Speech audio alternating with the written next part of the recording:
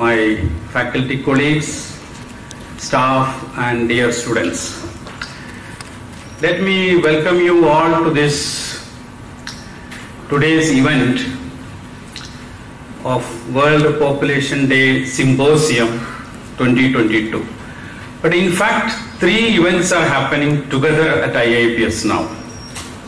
One is that this is the inauguration of our new academic year activities 22-23.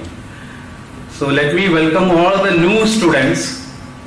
We have uh, three batches of master students joining today and also 37 PhD scholars are also joining today to the program and to the institute today. So let me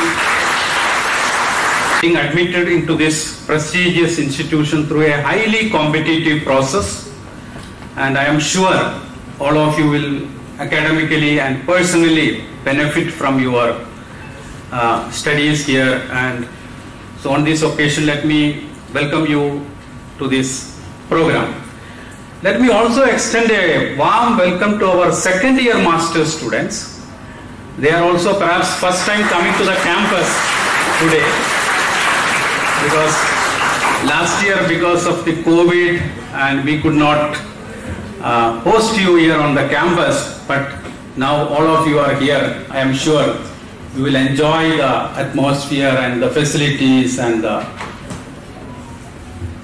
campus life very much. So let me heartily welcome all of you to this. The July 11th all over the world we observe as the World Population Day and in order to create awareness about world population activities, world population issues, and to generate discussions and debate from the governments to non-governmental organizations to academic institutions and United Nations take the lead in organizing all these things. So this year also we are going having a last two years we had the online symposium but now this time we are back to the activities so we will have a symposium on various aspects of the World Population Day and the population scenario. Uh, we have uh, Professor Vegard Skirbekk, a well-known Norwegian economist and a demographer, currently with the Columbia University, will be speaking to us on this occasion on the low fertility scenario in India and its implications. Thank you, Professor Vegard, for accepting our invitation and coming here for this.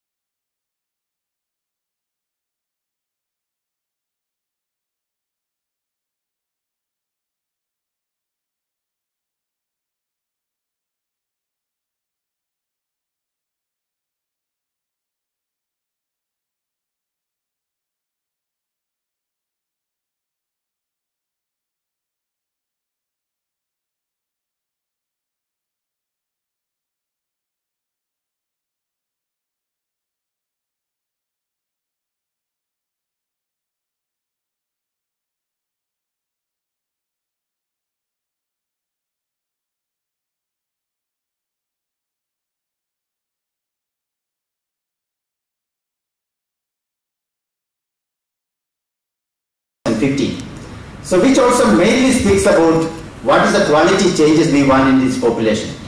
I think all of you being a student of this population studies in this institute, I think ultimately all of our aim is to really see that the country or the world achieves what is expected to be achieved. That is the progress of the human being in terms of its quality, in terms of its education, in terms of its healthcare, in terms of all other characteristics which we will be studying and we will be trying to see how it can be enhanced to our research, to our studies, as well as all of your great efforts. So welcome once again to the Institute. I'm sure the coming one year of academic journey for you will be very pleasant, will be stimulating in terms of your academic growth, as well as will be able to get you to the desired destination for which you have enrolled in this institute. So thanks also to Vegard for accepting our invitation and coming to the institute and I'm sure Vegard being almost pioneers in also in the population projection initially when he was IIASA as well as in his research in, in aging and currently the family demography. I think these are also the areas very much at the heart of this institute, institute's research and themes and as well as in our teaching. So your current recent books also really as one of our the reference book for most of the students who would be really now learning the demography, especially on the fertility transition. Thank you for coming over. We look forward to your talk. And once again, I thank all of you for joining and also a happy World Population Day. Thank you so much. Uh, World Population Day and also the release of the, with the release of the new UN population projection data. Um, thank you, Professor James, for inviting me. Thank you, um, Professor Seki, for for for, uh, for organizing everything and for having me here, and also to Professor Kogi for for um, for making uh, this trip possible. I will be speaking. I, I worked uh, quite diversely in different issues, uh, different themes in demography. And one topic I've been focusing on in recent years have been on, on fertility. And I've been trying to uh, set up a new institute in Oslo, in Norway, on uh, focusing on both the demographic and um, biological and social uh, determinants of low fertility and changes in fertility patterns. And the motivation for why, why we're currently focusing on fertility is, uh, is a graph that many of you probably know quite well. Uh, so since since the 1950s, the globe from around five uh, children per woman to around two and a half or less uh, children per woman in, in recent years.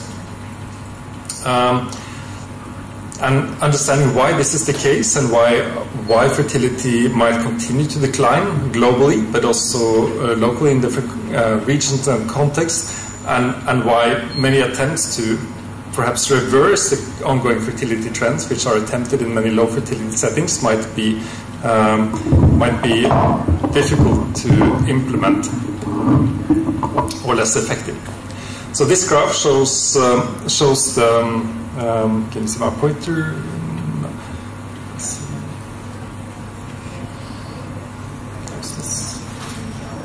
Um, well, so, so this, uh, this uh, uh, shows the uh, latest round of the NFHS. Thank you. And, uh, and it shows um, um, it shows the very large differences in fertility observed in India from, in, in for example, Bihar, you have the highest fertility in India with um, a TFR of 3.0. Uh, a region close by in Sikkim is, has only 1.1 uh, children per woman. And why do we observe these large differences within uh, a relatively um, short geographic uh, distance. Uh, that is something that could be of interest to, to study in more detail in, in the years to come, and whether India will experience a fertility convergence, uh, which many demographers uh, believe, at least partially, could be the case. So the point of my talk is uh, twofold. This is to understand why are we having fewer children in the world, why is fertility declining, and also what are the um, what are the biological changes in the capacity to, to reproduce, uh, and what are the social factors, uh, what are the social key factors driving later and lower fertility. I will give many examples from Europe and Norway, partly because Norway is my home country, but also because Norway has some of the best data on reproduction in the world. We have data on the entire population linked to both social and biological national level data, which is quite unique. So this shows one example of uh, a fertility change that has occurred since 1986 to 2020 in Norway. And you saw that, see that in 1986, most women in Norway, as in many other countries, had uh, uh, children quite early uh, relative to now. They had the peak fertility occurred in the, in the 20s. Um, since the 1980s, during the 1990s, fertility has uh, been postponed. So now peak fertility occurs in the early 30s. There's been a strong decrease in um, not only teenage fertility. Teenage fertility is almost unheard of in Norway. It used to be very high, uh, or quite high. It used to be um, um uh, over 16, the, going back to the 50s, and now it's it's fallen down to below two. Um, and um, you have um, uh, peak fertility occurring in the early 30s and increases in fertility not only in the late 30s but also in the early and uh, later 40s, although to quite low levels. This, is all, this also correlates to a um, strong increase in the percentage of live births to mothers aged 35 plus in Norway, uh, and now more than 20% uh, uh, of all births occur to, to mothers uh, aged 35 plus. So these were the trends. And when asked, so I will focus on biological issues in a bit, but when asked what is the preferred age for first birth, when the general population is asked how, uh, what is the best age to have, have a child for both uh, men and women, you find that um, uh, people, um, also that is both uh, uh, men and women, uh, answer that the ideal age of first birth should occur after the age of 27 roughly, and not later than the age of 37, so roughly a decade seen as, uh, as uh, optimal. And these are the um, shares of, uh, so there's been a strong increase in childlessness in, in Europe and in Asia, East Asia in particular. Uh, highest is uh, Japan, where more than one in four women uh, age 40 are now childless, followed by Singapore, and then uh, uh, continental and southern European countries, including Germany, Italy, Spain, uh, Finland. but there's also examples of countries in former um, um, socialist, um, form, former Soviet countries, including um, uh, Russia, um, um, Lithuania, and many other countries where fertility even if overall fertility is quite low, uh, childlessness is not that high, and the reason is that uh, most women have one child, but many do not have um, subsequent children. So there could be different reasons for why fertility is low in um, uh, quite low in different countries. Some countries you have a high proportion of childless, other other countries you have high proportions of women not proceeding from the first birth. There's also an interesting gender dimension, and this is, uh, I think, quite important uh, and something that has happened in recent years in Norway. So, childlessness used to be uh, almost all research on childlessness, uh, or um, used to be on, on women, uh, much stronger for men. Almost one out of three men in Norway are now childless at the end of their reproductive years, and the increase has been much uh, has been there also for women, but much weaker, going from 10 to slightly above 15 percent. So childlessness is an increasingly a male phenomenon. And this is important for many reasons, including that uh, there is, um, uh, if, if, you look at, for example, the relationship between adult health and childlessness in, in uh, Norway, you find that the relationship is actually stronger for men than for women. So childlessness can have stronger implications for adult male health than for adult female. And the reasons are likely to be uh, related to to social support or, or uh, meaning, purpose in life, or, or, or um, uh, health behavior risk factors. Women uh, who are childless might, might take greater risks and, and end up living shorter lives. I'd like to give a big perspective, and this is um, um, this is uh, an example from Denmark, where we look at gross and net fertility. Gross fertility is the number of children uh, of both sexes. The blue line uh, who are born to, uh, on average, and the red line shows the number of women, uh, children surviving to mid reproductive periods, uh, to the mid reproductive period. And, and, what you find is that the, um, if you go back to the beginning of the demographic transition, 1775, you find that uh, around two children survived uh, out of uh, slightly above four in Denmark. Um, so this was a period of stability in population terms, uh, where uh, although we had quite large families, uh, half of the children, uh, slightly more, uh, died before uh, reproducing themselves. And, and as mortality fell, the, the blue and the red lines gradually converged because most children, one had survived to mid reproductive periods. But in the meantime, you had a, a period where you saw um, net fertility being um, above two and this was the entire demographic transition. This is the reason why we have population growth in the world, because this occurred to uh, countries all over the world.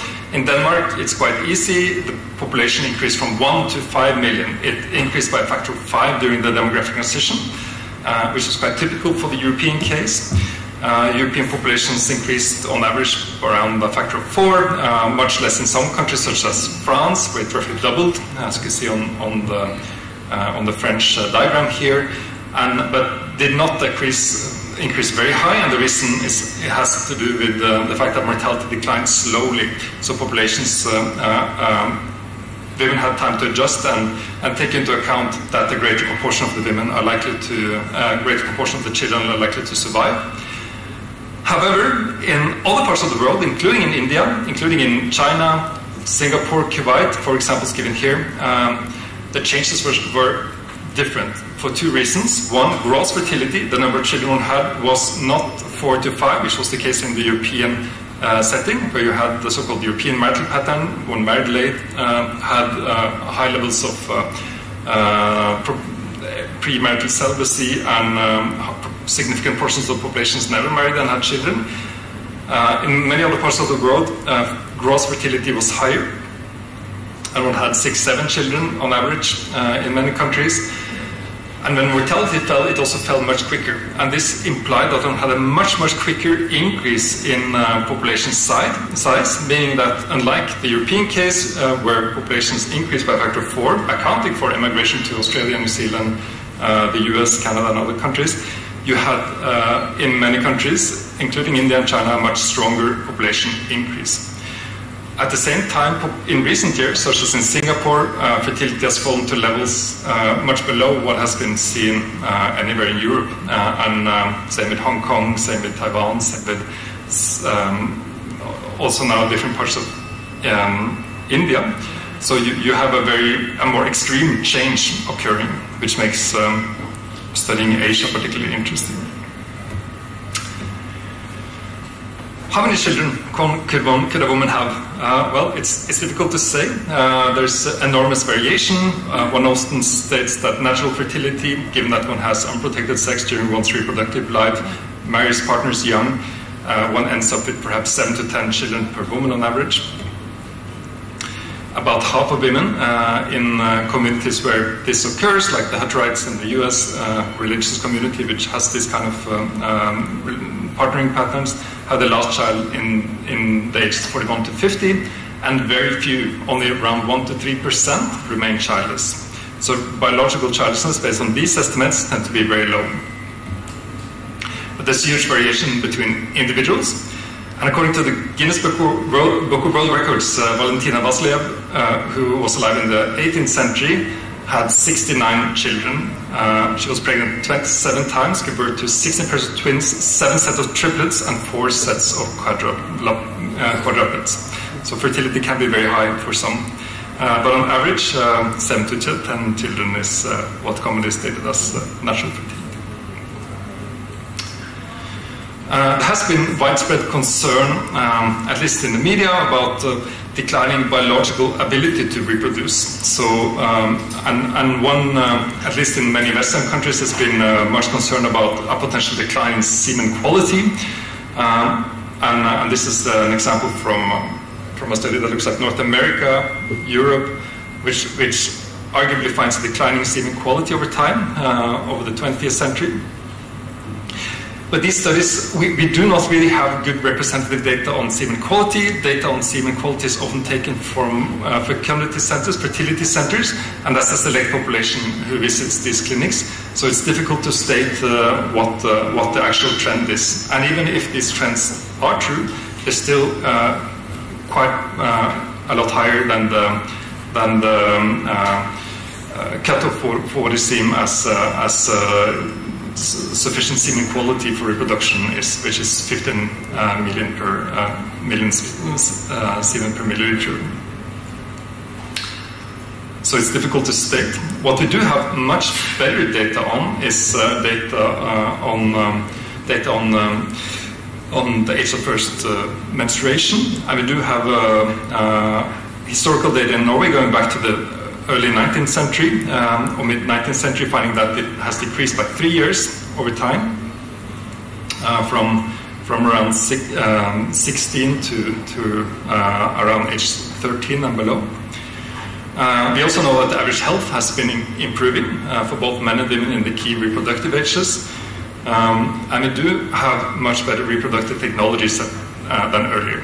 So, for, for, example, in Norway, no more than um, one, uh, four or five percent of, um, of all children are born using assisted reproductive technologies. On average, one child, at least one child in each school class in Norway, has, has been born through the use of ART.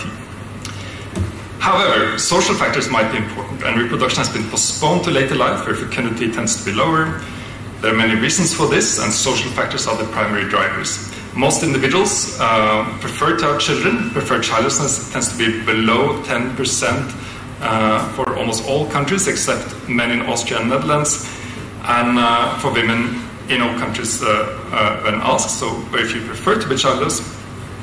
But there are so many things to do before having children, which takes more and more time. And this includes, includes education, finding a secure job, uh, getting married, having enough money, buying a house, a car, spending a year traveling, uh, realizing oneself, playing the dating field, finding the perfect partner, moving in together, it all takes more and more time than it used to. And this is uh, uh, something which uh, uh, some of us have been working on a lot in the past, educational increases. It has increased tremendously over recent years. Uh, schooling ages increase and career establishments take longer and longer. At the same time, peak earnings for where you have data occurs later and later in life. Historical data suggests that one, uh, for example, from, from Finland or, or England, uh, suggests that one reached one's peak earnings around the age of 30, and now it typically happens in one's late 50s or 60s, way later than one's peak reproductive years. So it's uh, economically more difficult than earlier. Uh, it's uh, one in 562 are also finding uh, a partner given with those desired characteristics, given what one prefers. Uh, according to a UK-based study, it's very difficult to find the perfect partner. Um, dating sites have no incentive to create stable partnerships. That is against the business idea. And uh, um, new factors such as education and income matters more and more for likelihood of marriage, personality traits, physical strength even. Um, at the same time as many prefer traditional gender norms. Even in Norway, uh, one survey suggests that 7 out of 10 women prefer men to be the uh, main breadwinner, uh, which can be hard, uh, and in more and more cases, men earn less than women. So one has to adjust one's uh, uh, mating preferences. This is an example from Taiwan and you find that childlessness is very different by men and women. Uh, men with higher education are less likely to be childless. Women with higher education are more likely to be childless than um, uh, those with less education. There's been changes in marriage patterns. More people cohabit, fewer people marry. Uh, even in countries that traditionally had none of this, uh, such as Chile, Costa Rica, it has become the dominant norm. So it could increase also in traditionally very conservative in these matters. Cohabitation, non-marital childbearing uh, might increase. Uh, there might be new forms of family formation. This is examples from Sweden, where you looked at same-sex couples, um, and you find that um, um, women with wives tend to have an increase, increasing childbearing. Uh, this is not the case for same-sex male couples who tend to have very low fertility. This might play an increasing role uh, if it um, constitutes a large proportion of those uh, of the partnerships in that country. Earnings, uh, housing prices matter a lot. Uh, this is again an example from Norway. Accounting for earnings, um, earnings growth, uh, housing prices have tripled uh, since the mid 1990s, making it harder to establish oneself. This is certainly also very relevant for India, where uh, housing prices have increased tremendously in recent years. So summing up, it takes a long time. One wants to do a lot of things, and one ends up with challenges. Antinatal policies, uh, in contrast to pronatal policies, could often be quite effective. This is an example from Iran, where it decreased from six to two, um, two children per woman in, in uh, just uh, over a decade or so. Um, similar examples of very effective antinatal policies have been uh, shown from Bangladesh, and, and you find um, um unlike pronatal policies, which tends to wants to increase fertility, uh, antinatal policies tend to be more likely to have strong effects. Example from Hong Kong, which went from very high to one of the world's lowest fertility levels. Lowest currently being South Korea with 0.8 children. So if I had to bet, I think uh, fertility will likely fluctuate at fairly low levels in more and more world regions. And new factors coming up, including, uh, for example, climate change, is likely to depress fertility further. This is uh, uh, uh, whether this will have consequences for the world. In, I think there are many positive likely consequences, but I also think there are major concerns, especially from my own profession, the economist, about the implications for global productivity. Uh, but for the first time in history now that India has dropped below fertility uh, replacement levels, the world's 10 largest economies have below replacement fertility levels. So uh, more, actually, it has increased to the world's 15 largest economies. I didn't uh, have time to update the graph. But more, the vast majority of what's produced in the world is now being produced in countries with below replacement fertility. And if you're interested in some of these uh, topics, um, as a little bit of advertisement, I, I, did write, write, a book which just came out now, uh, termed Decline and Prosper, on why we have a lot fewer children uh, and some of the issues we should investigate further and why, why the consequences might be uh, possibly more positive than many people would think. So uh, um, uh, this, this uh, and, and like most past research in, the, in, in this field, which tends to be very disciplinary specific, some are experts on say semen quality or education, or I try to merge everything together in, in one uh, integrated analysis. And one word on aging. Uh, so um, there's a lot of concern about uh, aging in the world, but I think it's extremely important to stress that, for example, the world's oldest country, um, Japan, also has very good health. So if you look at the age, not when you turn 65, but the age when you have the same health as a global 65-year-old, you find that this occurs in the late 70s in Japan, uh, while it occurs in the mid-40s in Papua New Guinea. There's tremendous difference across countries, India being around 60 which means India has a lot to go on in terms of improving health and thereby dealing better with population aging. If you look at the old age dependency ratio, which is the um, proportion 65 plus over uh, those aged 20 to 64, you find that uh, countries such as sub-Saharan Africa, most of Asia, um, tend to be relatively young, have a low dependency ratio, but one should not do this, one shouldn't use this, one should rather you look at when people get old in terms of when they have poor health. And if you, if you account for health, if you, look, if you don't say a person is old at the age of 65, but when a person has, has relatively poor health, um, you find a completely different world rank ordering. You find that India's actually not, India's sort of mid-level. Um, uh, several European countries which dem with demographically much older populations are um, younger because they have better health, they invested more in lifelong health. Um, and uh, and uh, some countries have neither, including former USSR Soviet countries, where they both have an old population and poor health, and they have very poor uh, health-adjusted So to sum up, global fertility has been cut in half in just the last 50 years, and it's continuing to fall. Lower mortality, education, higher cost of childbearing, uh, changes in the labor market, new roles of women have likely contributed to these changes, and uh, uh, people prefer fewer children than they used to. There is a lack of examples of countries that have managed to reverse this fertility trend, and most like future events are likely to, to uh, if anything, depress fertility even further. So I think if low fertility will probably uh, be a trend um, of the future increasingly, and also um, as mentioned earlier, might be less of a concern, but rather more positive development um, than what many others believe. So thank you so much for your attention, and um, um I look forward to any comments or questions.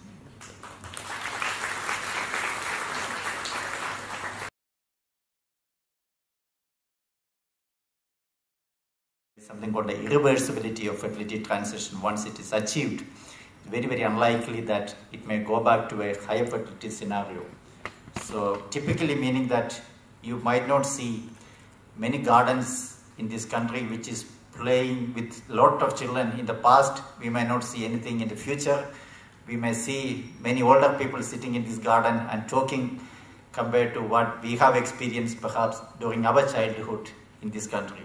So it's very exciting to really see what's really happening at the different countries across globe. Thank you for that exciting talk.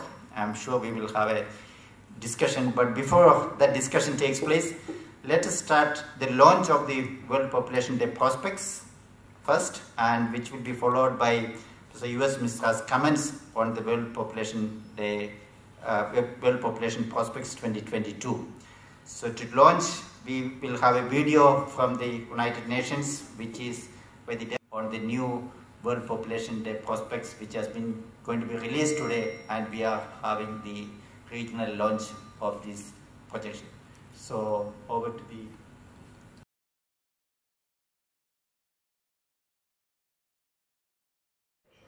In 1950, there were many more children than older persons. From 1950 to 2050, however, we expect the population above age 65 to grow from 5 to 16% of the total.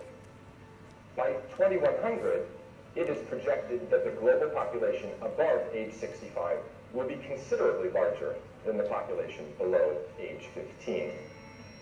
Countries with aging populations should take steps to adapt public programs to the growing number of older persons. Today, two-thirds of the global population lives in a country or territory where lifetime fertility is below 2.1 births per woman, roughly the level required for zero growth over the long term. Some of these countries have experienced long periods of very low fertility, below one and a half births per woman. As a result, the populations of 61 countries or areas are projected to decrease by 1% or more between 2022 and 2050. Population change in high-income countries is increasingly driven by international migration. Over the next few decades, migration will be the sole driver of population growth for this group of countries. For low-income and lower-middle-income countries, population increase is driven by an excess of births over deaths, which is much larger than the net outflow of migrants.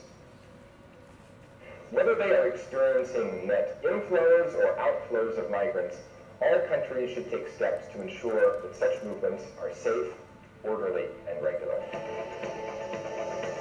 The COVID-19 pandemic has had significant demographic consequences affecting all components of population change, including mortality, fertility, and migration. Global life expectancy fell 1.8 years between 2019 and 2021 due to excess mortality associated with the pandemic. The impact of the pandemic on fertility is less clear-cut. For some countries, there is evidence of pandemic-related fluctuations in births. Elsewhere, it appears that the pandemic did not noticeably affect the trend in births. The pandemic severely restricted all forms of human mobility, including international migration. In the World Population Prospects of 2022, the pandemic's impact is reflected in the estimates for 2020 and 2021, and in the first few years of the projections starting in 2022. A path towards a more sustainable future requires demographic foresight, which involves anticipating and analyzing major population shifts before and while they occur, and adopting forward-looking and proactive policies guided by such analysis. You can find additional information about the global population on the website of the United Nations Population Division.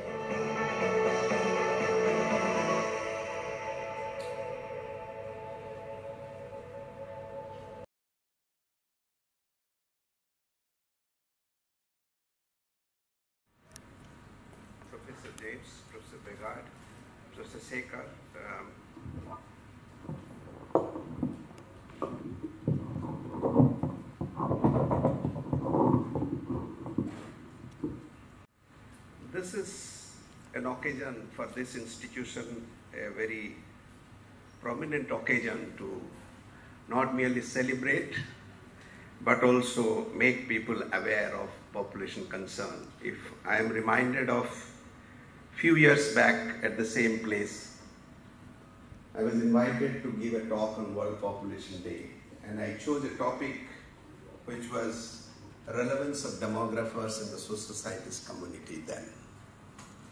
Many of you who were present then would have seen that in fact it is very much responsible and actually comment on the World Population Prospect, which is released, and you got a highlight of it just now from the UN division. Before I begin, I would start with this that basically a world of 8 billion, which is almost near, and the message that for this World Population Day, like any other World Population Day, there is a message which comes saying that we want a resilient future with guaranteeing, you know, ensuring rights, choices, equity, and many other ideal things. Will this be possible? Is the is the challenge? Is the that many occasions which are celebrated as specific days for specific cause and events, World Population Day is one. But I wanted to say that it is just a mere commemoration of the event that happened in 1987 or it is a reiteration of commitment to sustain a growing population which all of us agree that as you see even if growth has slowed down population is going to grow and the consensus that I am trying to share with you today is more to dwell upon not merely count of population. What is more relevant is composition characteristics of population, which has been actually changing drastically and getting recognized least by others, of course not by demographers, but least by others. And I'll come to that in a while size and composition, population concentration around the world, the kind of urbanization scenario that is evolving around the world. When people link population to development, how much do they talk about size and, and its growing, you know, intensity? Added to that, you have concerns on environment, you have concerns on food and employment. If you look at every of these domains, the major crux lies in population.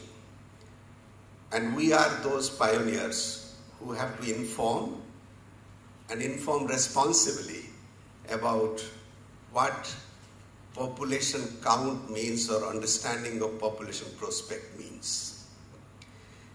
Having said that, I come to the first concern that is imbalance in population. I don't know how many of you have been through a most recently controversial and contentious report released which was in debate and discussion on World Inequality Report 2021.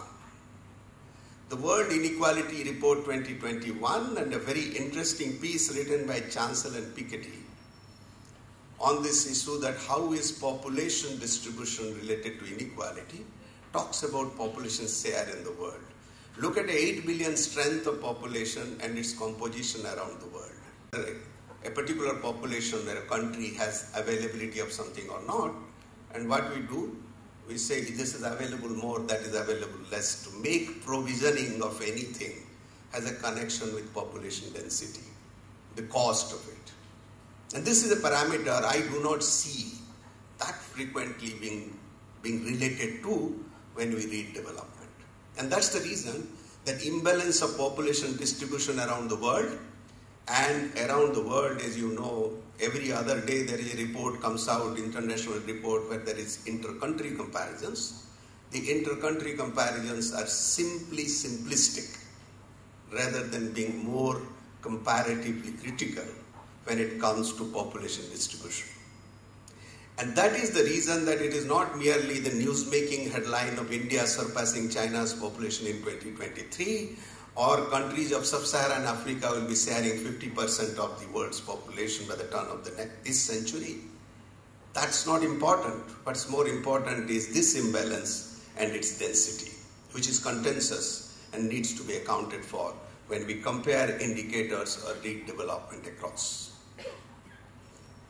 The second issue is, yes, there is a very big anxiety about population stabilization, whether it is within India, whether after replacement level of fertility being attained in our country. We are also more anxious about when will India's population stabilize and when will world's population stabilize. Of course, new students to this institute may not be aware of what population stabilization, which will be taught to you, of course, but population stabilization is an anxiety which is having some hope in this World Population Prospect document.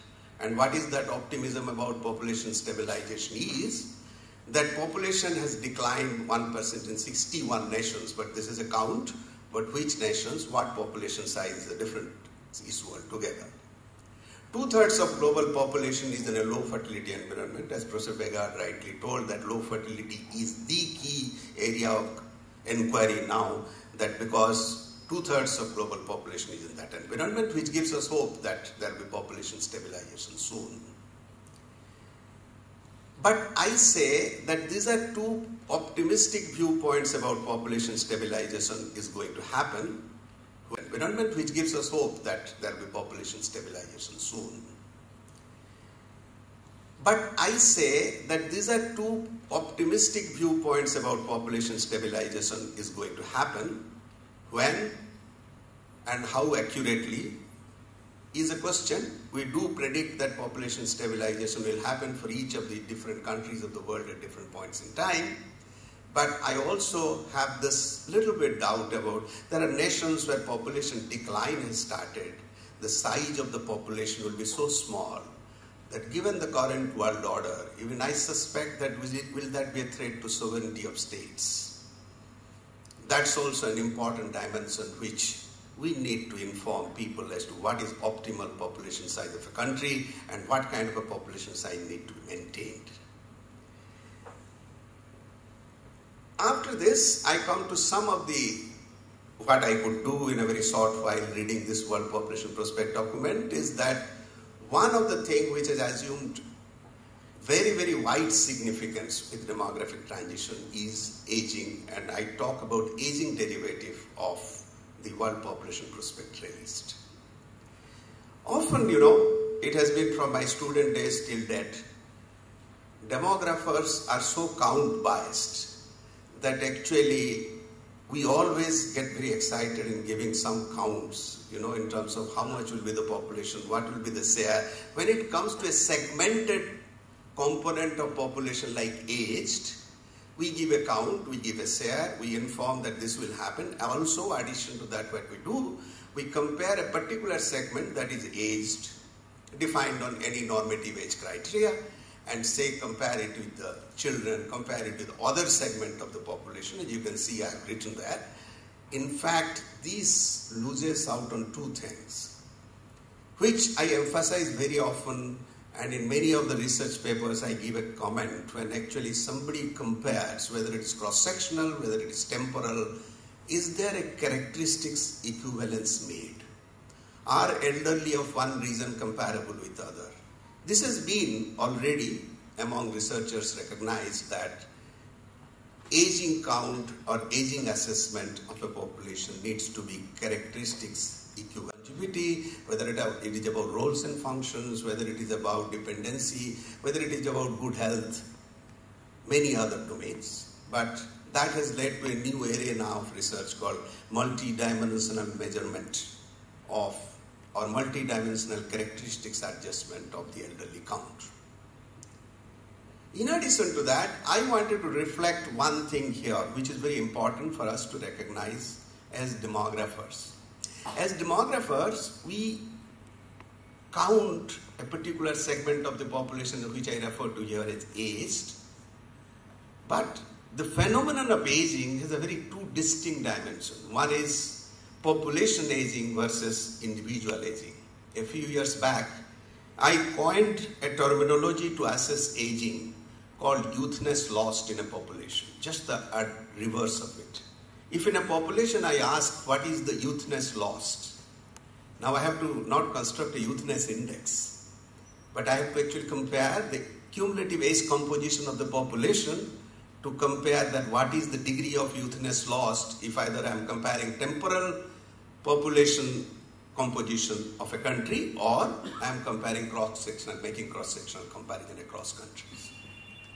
That brings that population aging should be read in that way. But individual aging is completely different from population aging because I say population aging is a structural construct and individual aging is a survival construct. A survival construct need to be completely read differently from a, a structural construct. So when you talk about population aging, you talk on a structural construct, but when you talk about individual aging, you talk about a survival construct. So this is what is available in World Population Prospect on Aging Derivative, which tells the kind of comparison of a segmented population and its relation to other segments like children, like adults and the age structural change.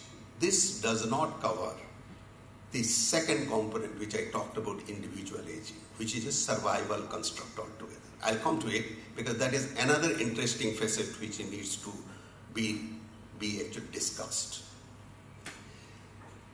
This is another highlight in the World Population Prospect report which has come is that international migration is it the balancer? As I began speaking, I told you there is an apparent imbalance in population strengths around the world. Certain regions are very highly populated, highly densely populated, and certain regions are not. It is not merely the density, but also the age composition because of the status of demographic transition attained in different countries.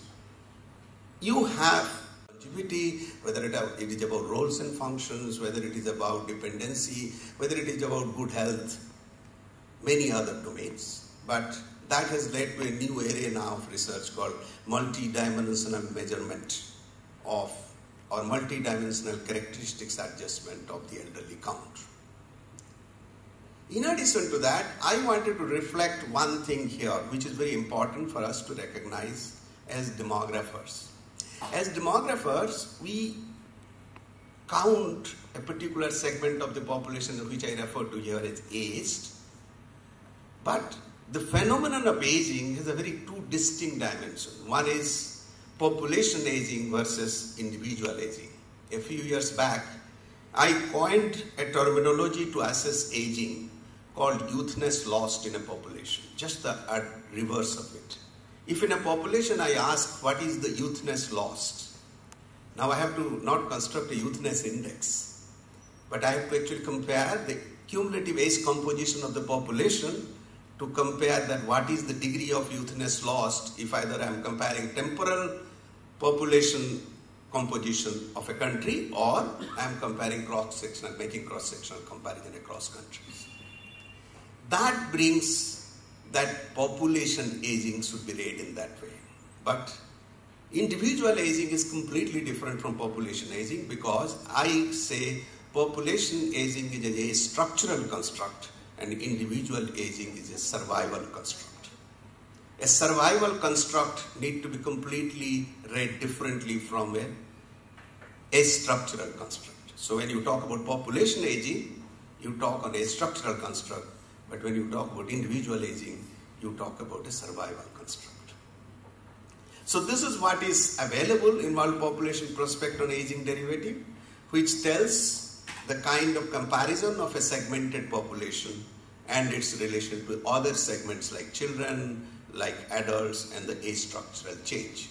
This does not cover the second component which I talked about individual aging, which is a survival construct altogether. I'll come to it because that is another interesting facet which needs to be, be actually discussed. This is another highlight in the World Population Prospect report which has come is that international migration is it the balancer? As I began speaking, I told you there is an apparent imbalance in population strengths around the world. Certain regions are very highly populated, highly densely populated, and certain regions are not. It is not merely the density but also the age composition because of the status of demographic transition attained in different countries. You have international migration expected to serve as a balancer. But what you see that literally, despite having low fertility, some countries have migration which is playing the role in economic, I mean, in, in, in the population growth. Whereas that is not so much high in the countries where actually people aspire to go. You are all aware that we all want to go.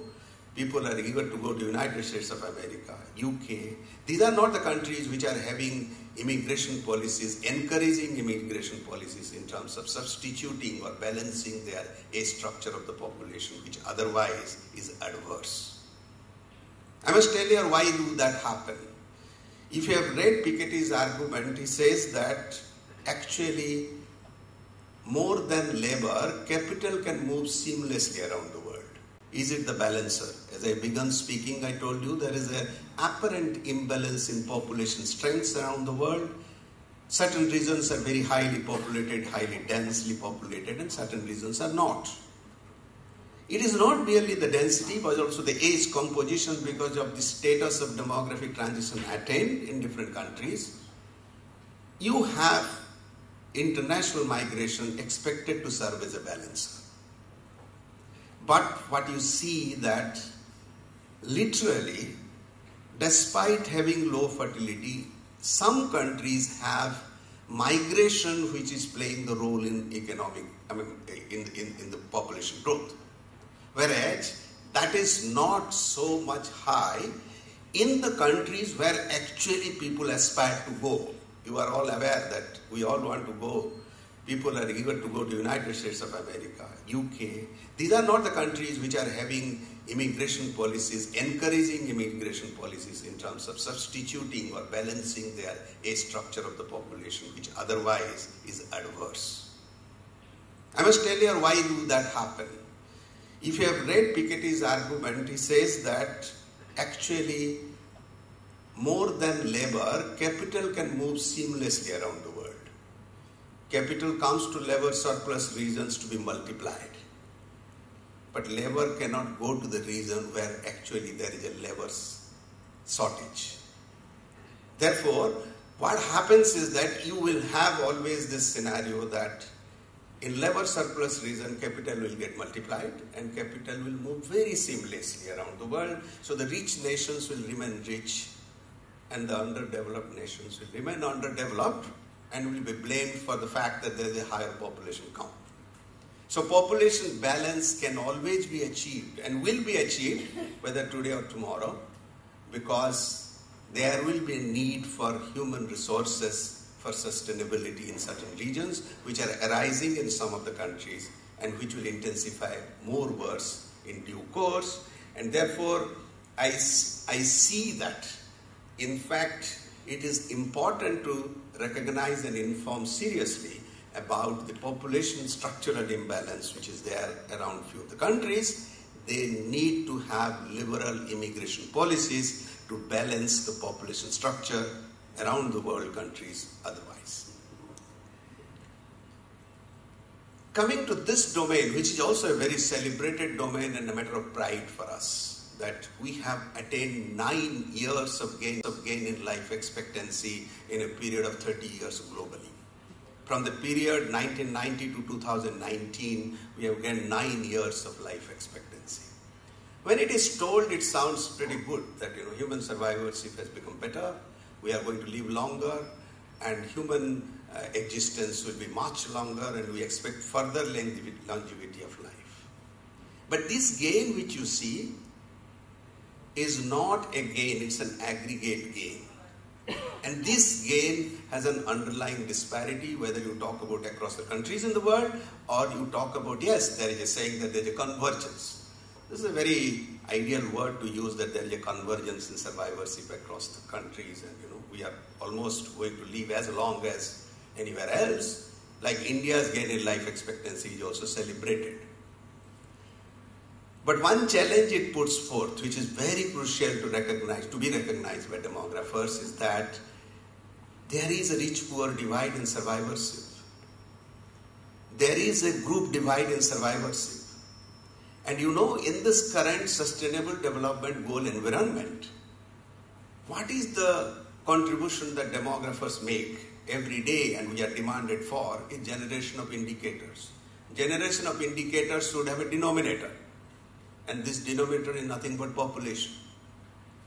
That population itself is having a rich poor divide in life expectancy will lead to the fact that the population will have more of the rich than the poor. They're not equal. Poors die before they come into the count. Poors are not available in your denominator. In your denominator, the adversity indicators that you compute for 101 adversity indicators, those adversity facing or adversity likelihood itself, people who have, they are less. So you get an elusive count or elusive measurement of improvement in adversity indicators that you face every day. So, for as a demographer, I'm inclined to say that do we actually recognize this? Do we even count the complexity of population count when there is a division and a disparity in terms of attainment of life expectancy? In fact, the rich poor divide, I didn't speak here on ideal ground alone. I was informed at a point in time by a celebrated economist saying that our poverty ratios coming down is because poor people are becoming lesser, you are attaining achievement in declining poverty, or poor people are dead. If poor people are dead also, they are not found in your numerator anyway. So are you saying that declining in poverty is basically because of the fact that poor people perish before even they attain a certain age? That is, the, that is not the ideal concern. I'm global imbalance becoming more and more skewed in terms of population share across world regions. And if you look at the income shares, they are more than double of the population share. I'm not going into any computation of strict inequality measure, but globally, you have income share which is double than the population share itself says that how much of inequality we have. And we talk about sustaining equal and population well-being across the world is really an elusive matter. It's important to see that how will we attain that balance, how will we achieve that. In fact, inequality is also not the result of mere tangible, I'm not talking of wealth, I'm not talking of income. I'm talking of endowments, I'm talking of capability endowments that themselves are so unequal that that will actually reproduce inequality. It will go on reproducing inequality, it will go on reproducing income differences. Inclination and aspiration to migrate. Reason is imbalance in income, imbalance in wealth. That is the reason that people move away. And that also is regulated to the worst terms possible. So population prospects when we read we should not read merely in terms of the population share and distribution, not its unevenness, but also its implication for global inequality. And that is the point that I wanted to make. Having made this very brief points, provoking points, what demographers' responsibility is about when it comes to reading population prospect, I say that population prospect quite important in formulating indicators. That is one message because it is not merely taking the population denominator but sensitizing people about what are the nuances underlying that population denominator in terms of its composition, in terms of its equivalence characteristics and the rest. Count of population is necessary but not sufficient given that recognition of their composition makes robust comparability of generated indicators. So this is an assignment for all of us to question the prevailing indicators and their robustness in comparison when it comes to characteristics equivalence of population, whether it's over time or across population. Another is that global imbalance in population and wealth makes a call for seamless movement of labor similar to that of capital, if it is done, then we will be perhaps be achieving the dreams that we talk of, that we have a balanced world population with equivalent well-being all around. So the take home for you is that anything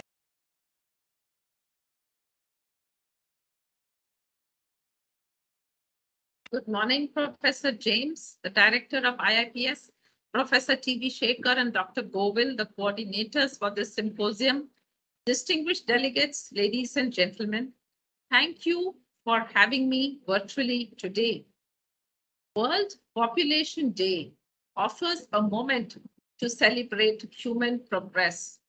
Our world, despite its challenges, is one where higher shares of people are educated and live healthier lives than at any previous point in history.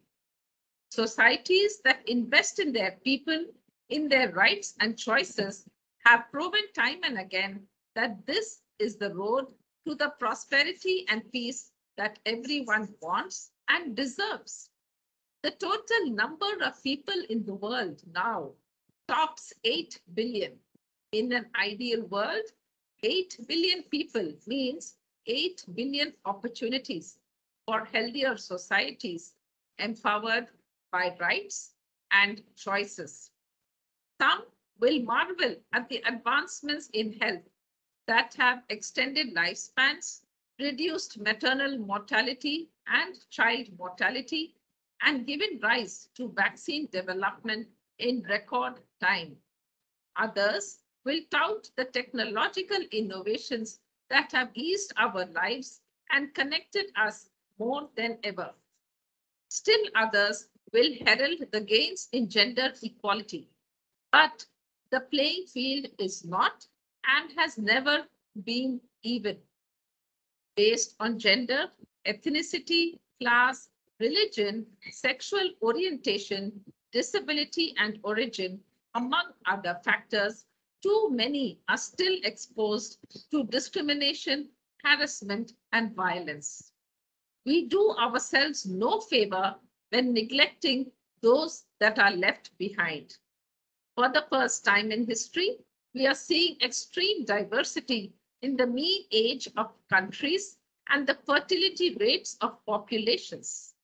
While the populations of a growing number of countries are aging, and about 60% of the world's population live in countries with below replacement fertility of 2.1 children per woman, other countries have huge youth populations and keep growing apace. Women are still dying in childbirth. Gender gaps remain entrenched. The digital divide leaves more women and those in developing countries offline. Most recently, COVID-19 vaccines remain unevenly distributed. And the same concerns and challenges raised 11 years ago remain or have worsened. I refer to climate change, violence, and discrimination.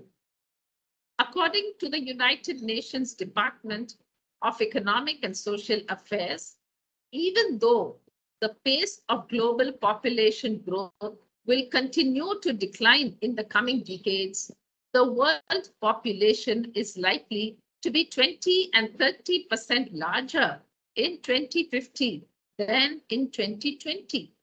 Having accurate estimates of population trends and reliable forecasts for future changes, including for the size of the populations, their distributions by age, sex, and geographical location is required for policy formulation and implementation, and as a guide to assist countries in following a path towards sustainable development.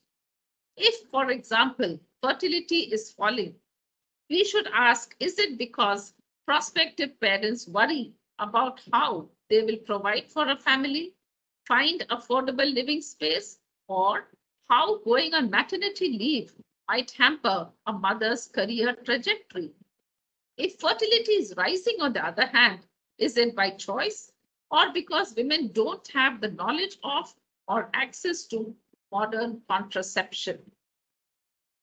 Recent surveys show that in a majority of Indian states also, fertility rate has fallen well below the replacement level of 2.1 and the country is fast approaching the replacement level itself. The total fertility rate of India in 2017 stood at 2.2. And according to the data from the National Family Health Survey 5, which is NFHS 5, India's total fertility rate dropped below the replacement level of 2.1 and currently stands at 2.0, with urban areas pegged at 1.6. The fertility rate of Maharashtra also fell gradually from two live births per woman in 2007 to 1.7 live births per woman in 2018. While total fertility rate, that is the average number of children born to a woman over her lifetime, the TFR, is dipping across the country. Data from the same NFHS 5 shows that female sterilization is the most common method of contraception. While female sterilization increased in most states from, let's say, 49% to 58% in Tamil Nadu and from 21% to 35% in Maharashtra, in Bihar, I'm sorry, Maharashtra posted a slight drop from 50% to 49%. If we have a look at disaggregated data within the state of Maharashtra, Mumbai, the island city, follows the national trend of more sterilization, that is up from 36% to 47%, while the suburbs of Mumbai have shown a drop from 43% to 38%. The male participation in family planning has always been a problem at the country and at the state level. Again, as per NFHS 5, 74% of couples practice contraception as against nearly 60% that did in, in according to NFHS 4. Couples who adopted condoms also rose from 5.6% to 9.6% in NFHS 5. In Maharashtra, too, it increased from 7.1% to 10.2% over the two NFHS survey periods. While the increase in the use of modern contraceptive methods is heartening, an increase in female sterilization, coupled with continued stagnation in male sterilization uptake, shows that the heavy lifting in the family planning program is still done by the women. Therefore, focus should be on people, not population. Reducing people to numbers strips them of their humanity instead of making the numbers work for the systems, make the systems work for the numbers by promoting the health and the well-being of the people. Making sure that everyone is counted can allow governments to better assess the needs of a changing population and chart a surer path to addressing those needs for demographic resilience. Achieving this demographic resilience starts with the commitment to counting not just numbers of people, but also opportunities for progress and barriers that stand in its way. This calls for transforming discriminatory norms that hold individuals and societies back. It leads us to economies that work for all people instead of just a few, and to a fair use of resources so that we can mitigate risks and meet the needs of both the current and the future generations. Now, let me talk of UNICEF and how we work for the story behind the numbers and attempt to make the systems work for the numbers by promoting the health and the well-being of the people. It is a happy coincidence that UNICEF is celebrating 75 years of work globally 73 years of which are in India. Our main goal has been in ensuring children survive and thrive in all stages of life. They are nourished, they are educated, and they are aware of their rights to make informed decisions as they grow up. The last 73 years of our work in India inform us that as we strive to achieve our goals for children that geographical scenarios, political and administrative commitments, and committed resources for women and children are fundamental in achieving these goals. Some states like Maharashtra, Tamil Nadu, and Kerala have indeed been pioneering in their commitment, while a few other states, despite their commitment, struggle due to various reasons linked to resource allocation and other local challenges. UNICEF works largely in the rural areas, and we have seen that the robust administrative systems are set up that are uh, geared towards uh, a very good understanding of the issues and how to address them. I am reminded of my visit to Nandurbar district of Maharashtra, which is a 70% tribal district. And I vividly recall in the remote interiors of Akalpur block that an Anganwadi Sevika was able to scientifically distinguish and measure severely and moderately acute malnourished children and counsel mothers on the same. We have penetrated deep inside the rural hinterlands and are now able to measure our training and knowledge building capacities of the government frontline workers and other staff uh, and also know where the hotspots are for the problem and how we can clearly strategize for the varied geographies and the varied communities within the government. This is but one example of how systems work for the numbers, as I had mentioned earlier to you. And now, as we stand, India has the proud distinction of eradicating polio, smallpox, and maternal tetanus, largely due to the system's strengthening and investments made.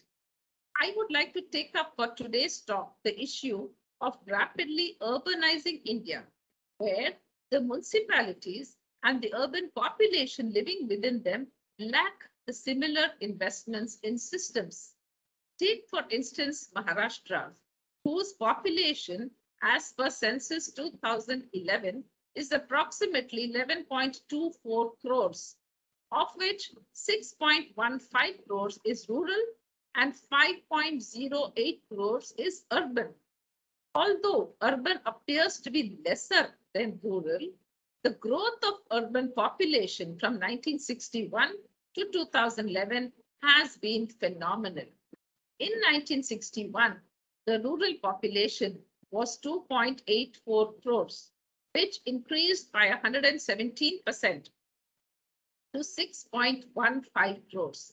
While for urban areas, it was 1.12 crores only in 1961. And the percentage increase was a huge 354% in 2011. Questions arise now. Are we now ready to address the issues of the urban poor? Do we have clear strategies for addressing the multiple challenges faced by the urban poor, starting from health to their economics and their well-being? UNICEF's work for the urban was initiated in 2019 and have been geared to understanding four things. One, what is the current evidence that informs the challenges and opportunities for the urban poor? Two, what are the ground level issues of the communities? Three, what is the participation level of both the civil society organizations and the communities? And lastly, four, how can we trigger local change with the government? As the urban landscape is evolving, UNICEF Maharashtra has identified five key priority areas for children in urban settings that will inform our work. Priority area one is to support the public health department and the National Urban Health Mission in reducing the equity gaps in urban areas through partnership for urban primary healthcare program. Priority area two is to strengthen the evidence on children in urban areas for data policy and research. Priority area three is to enhance the voice and the participation of poor children living in urban settings and strengthen the partnership with urban communities and organizations. Priority area four is to adapt urban planning and budgeting for children living in urban settings, particularly the most disadvantaged. Priority area five is to promote a safe and sustainable urban environment for children through larger advocacy and partnerships with the civil society, the NGOs, and the private sector.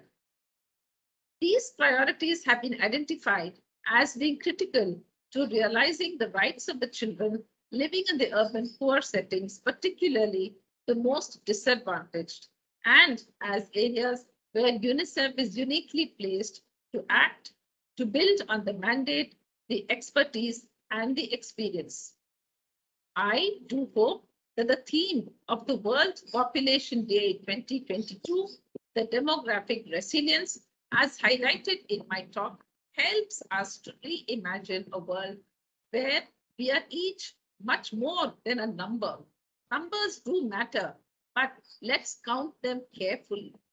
A resilient world of 8 billion, a world that upholds individual rights and choices, offers infinite possibilities. Possibilities for people, for societies, and our shared planet to thrive and prosper. I am privileged to be speaking at today's symposium organized by IIPS in the context of the World Population Day 2022 and allowing me to highlight UNICEF's priorities for children as a contribution to the overall theme. Thank you for your patience.